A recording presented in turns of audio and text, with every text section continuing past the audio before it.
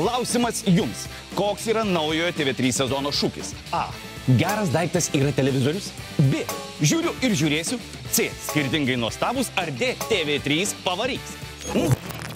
Variantas C. Teisingai. Skirtingai nuostabus. Galvok. Naujasis galvok sezonas jau greitai. Rrr.